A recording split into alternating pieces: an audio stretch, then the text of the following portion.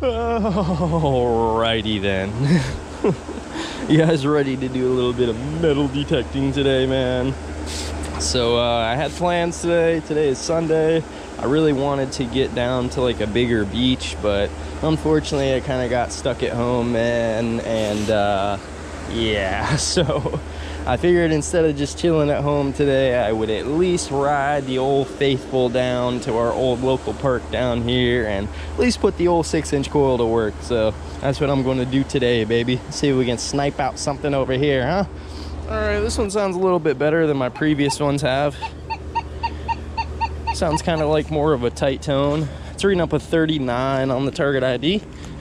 Let's check them out real quick. Probably gonna be my first coin of the day. Learning and experimenting with the legend. Yep, there she is right there, man. First coin of the day. Let's keep it up. All right, so I was messing around with pitch tones, and honestly, I think right at the moment for the park, I'm liking just six tone mode better. Keeps it really nice and simple. You can kind of distinguish between uh, the foil and stuff a little bit better, but let me see here. This one's a 25 26, so definitely has the potential to be good. I did bring a couple things with me that I meant to show you in the beginning beginning of the video, but I want to pull out real quick with the Legend and just test them out real quick. Uh, give me one moment, please. Let's pull out this pull tab or a nickel real quick. Where are you at, little buddy? All right, not too shabby, man. I'll take that over a pull tabus just about any day of the week, huh? Oh, that one's actually a 1960 on the head. 1960.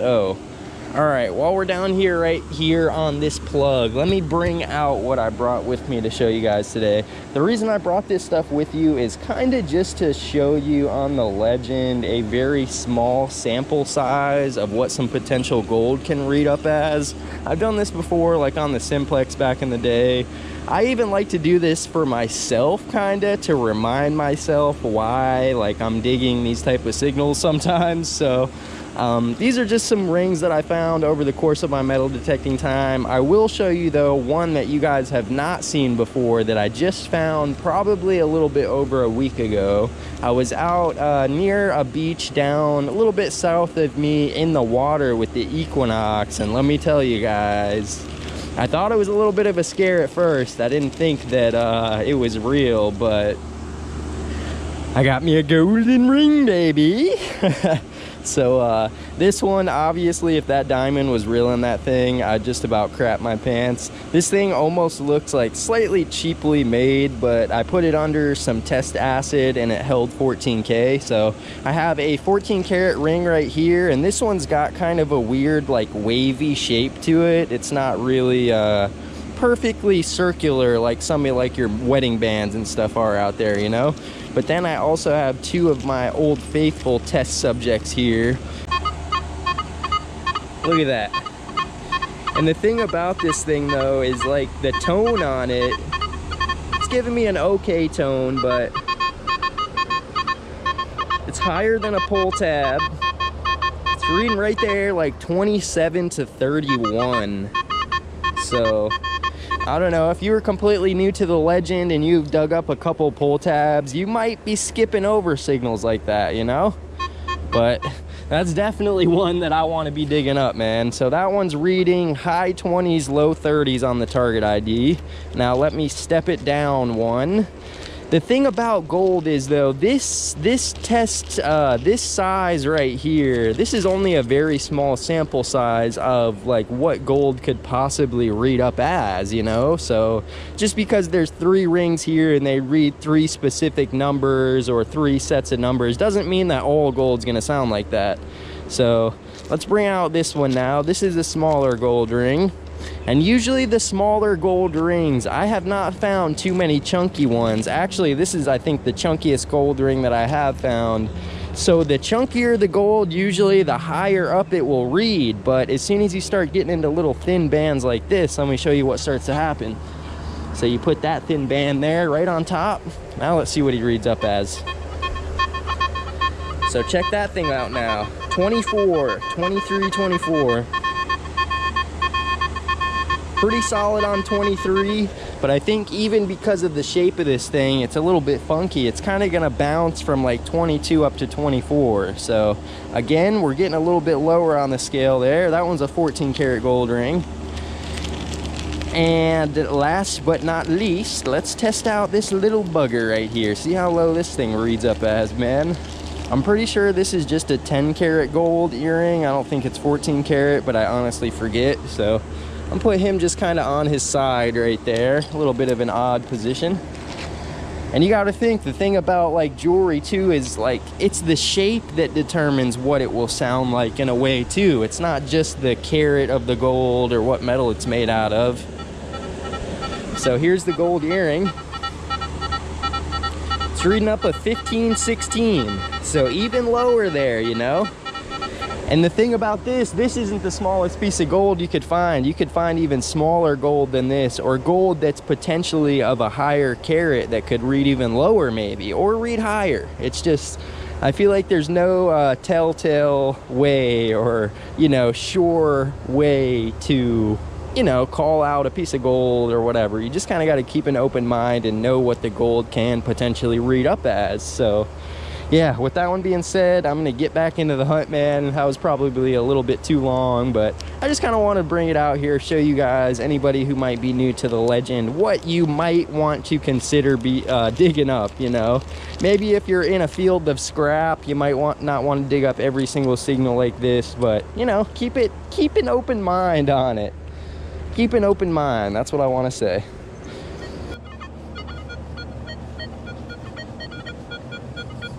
Kind of a funky one over here. Kind of sounds like a coin, I think.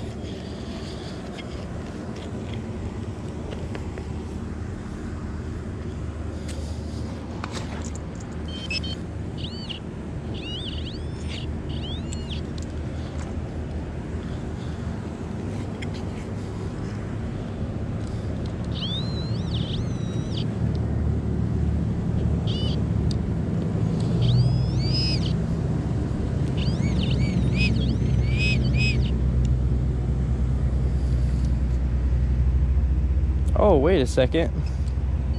I don't think that's no American I've ever seen, man. Um, I think that might be a Canadian. Yes, it is. Look at that. Alrighty then. That's pretty good. You sound a little bit funky, but I'll take that, man. Something a little bit different. Always puts a little bit of pep in my step, man. it's kind of a messy plug there.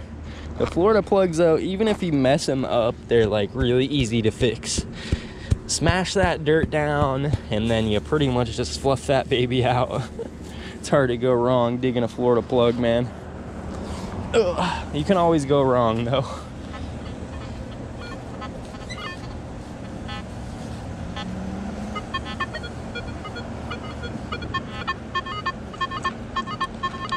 This thing sound funky right there. Come here, little pinpointer.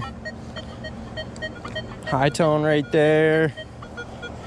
Uh, penny signal right there.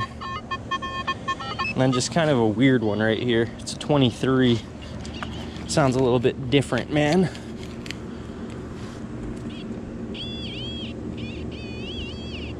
It's in the clump, I think. The heck is it? I don't see it, man. Uh-oh. I think it just fell out, probably.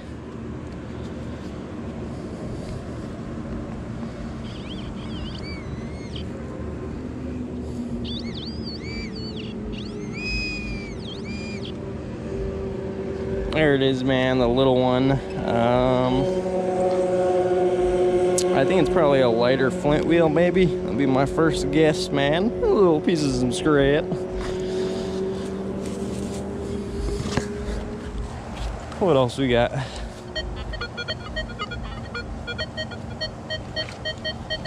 Definitely probably a coin right in here.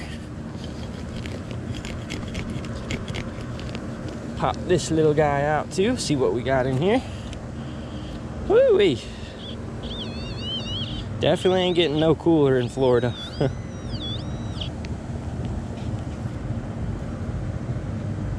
There it is right there. A nice little dime to add to the collection, man. I think he is a, uh, he's a 1979, so 10 cents up, baby. I know when I first got the legend, I was talking about, uh, I wonder how many dimes it's gonna take to pay off this baby. I've probably gotten at least a hundred dimes so far.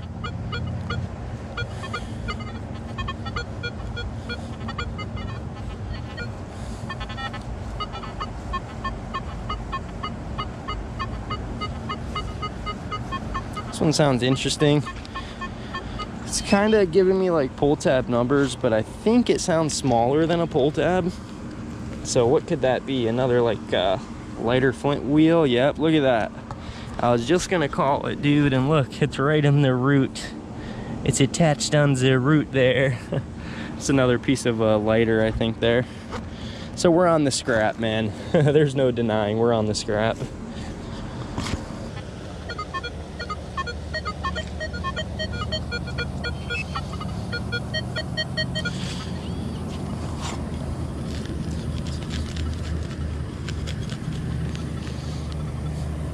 Look at that perfectly popped plug, man. He's right in the clump. Don't you love it when that happens? What you got for me, buddy?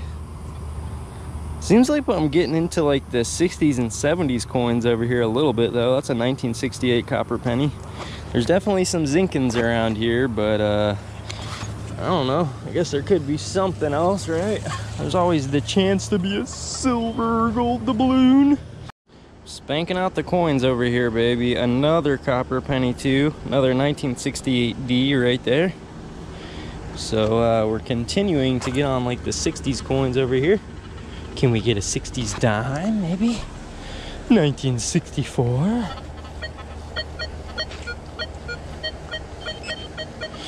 Right next to that plug, we got another high tone, man. I'm just in a power digging kind of move. Sorry if the video's uh, a little bit subpar. There's another one right there. Look at that. Popped right out, man. Pretty sure he's a copper. He just made it though with the 1981. I'm trying to find something good, but it's not always that easy, man. You just gotta dig, right? Just keep digging.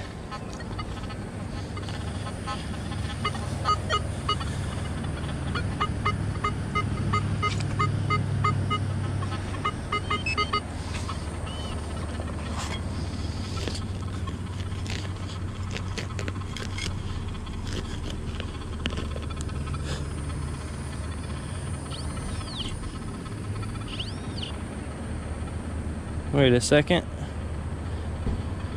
What is this? I don't know what the heck that is.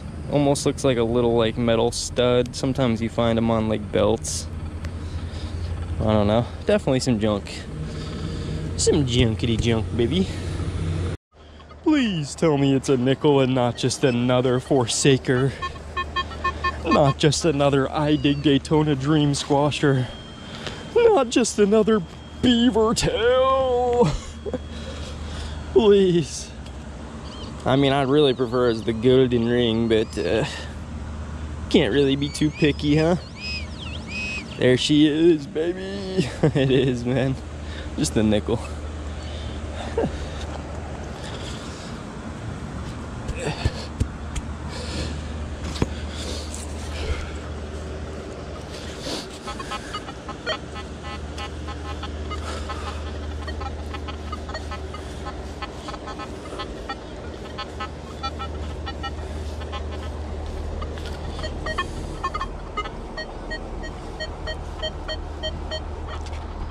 All right, guys, this is actually a really odd one that I've never really gotten a signal quite like this, I don't think, on the Legend. It's reading up to 55, man. Definitely an odd one. It almost sounds kind of like a coin-size object, too, so let's see. Is it just fooling us? It definitely could be. Let's see what the heck it's gonna be. Big piece of aluminum or something? Come on, baby. It's right here, whatever it is. Oh, wait. Oh, really? Really? Ultra green quarter, huh? Alrighty then. That's not quite what I expected, but wait. No, he's not. There's no way it's a silver quarter. He would not be coming out green like that, I don't think. I thought I saw 1951 on there for a second, but... Alright, so that's interesting why he was reading up so high. Let's uh, swing back over this hole real quick. Okay, wait. I got some more funky signals down in here. Is it a coin spill, baby? it might be. Wait. Come on, is it double quarter? That would be really nice. It is, dude. There she is. Look, look how green that one is too, though. Holy moly, man. He's been down there for a little while, huh? Um, I don't know. I'm not sure the date, but that's pretty good. Ooh, look, look, look. A third, dude. Three freaking quarters in one hole. That is what's up. Wait, don't tell me. I think I might have another one. That is what's up, man. Usually, like, it's hard to come by those even at the park, you know? So that is the third. Let me see if there's a fourth in this baby. I have another signal, but I don't know if it's a quarter. I also, I don't know if you guys were here. I, somebody approached me and said that they lost their key fob out here. So that's something we'll have to keep an eye open for, man.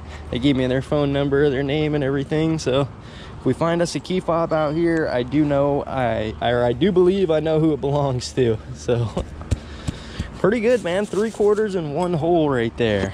That's what's up. You just got to swing over it, you know? Let's see.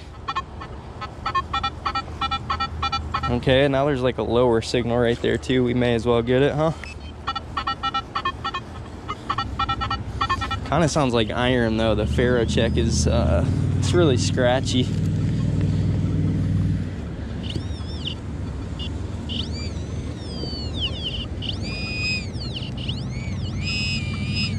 There she is.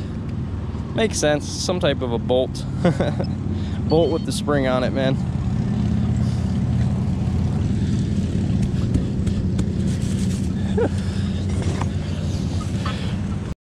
um, guys, wait a second.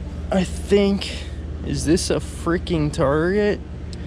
I think this is a target, dude. I thought for sure it was gonna be like another penny or something. I think we actually have like a little charm or something, man. Hello. Yo, what the heck is that? It's a little dude. It's legitimately a little dude running, man. It honestly kind of looks shiny. Is it freaking silver? That would be sweet, actually. Um, yo, that thing is actually super cool. it was sounding scratchy. Let me try to put it back on the plug and ring back over it. I don't think that I caught it completely live but definitely looks like a little dude running man and honestly it looks like it's shining up pretty good i'm over near like just an odd spot i'm over by like a wall uh, let me see swing back over this baby see what it reads up as and tell me if you guys think it's silver so it's reading up a 33 which is kind of high so i don't know it's very small and the shape is weird so um I don't know. Usually, like if I find junk jewelry though, if it's been sitting in the ground, it would be super corroded by now, you know? But that thing does not look very corroded. And that thing's cool, honestly, even if it's silver or not. It's a little, definitely unique, man, right? Can you guys see him? so I don't know if he was supposed to be a pendant or I have really no idea what the heck it was supposed to be, but I remember I was over in this spot too. I thought I hit this spot pretty good like uh, a few weeks ago. I think I was using maybe the Vanquish over here or something, but apparently not, man. You just never know. just got to dig up the signals, man. So I think honestly that's probably a good target to end this video off on because I was getting a little bit discouraged. I was honestly probably going to head out soon anyways, but we got definitely a good amount of coins. This this coil is perfect for like modern park coin shooting, you know, coin shooting and jewelry picking because like for me at least, when I'm hunting at a modern park, the the best thing I can do is recover the targets fast, you know, and that that coil definitely helps me do that. So all these coins for out from were for out. all these coins were from out here today. There's not a crazy amount of them, but we got almost a dollar coin spill in the same hole, and we at least got a little piece of jewelry. Got like a Canadian coin, some bits and bobs. Uh, all my pull tabs and junk are in a different pouch, but I don't think I pulled too too many of them today. I was definitely trying because I wanted to, you know, get the, at least the chance at some gold. But you know how it goes. We got a pouch full of scrap too. So anyways, uh, yeah, with that one being said, if you guys enjoyed this little legend hunt, give this video a thumbs up for our little runner man there, huh? If you don't give it a thumbs up, he might show up at your house. I'm just kidding, but uh, when I get home, I'm probably going to test him out, see if he's silver. So, uh, yeah, I'll let you guys know eventually whether it's the next video or what. That little bass pendant I found out here at the park, though, that thing did end up being silver. So that thing, that was probably one of my coolest pieces of jewelry in a while. But, uh, yeah, anyways, enough blabbing. Thank you guys for watching. If you guys enjoyed the video, I'm sure you know what to do by now, right? Look it up with the thumbs up for me, baby. And, uh, yeah, with that one being said, uh, I'm gonna dig this little piece of scrap up and uh, I'll see you guys on the next one, huh? So, uh, yeah, just stay optimistic out there, stay in a positive mindset, and until next time, I'll see you guys soon.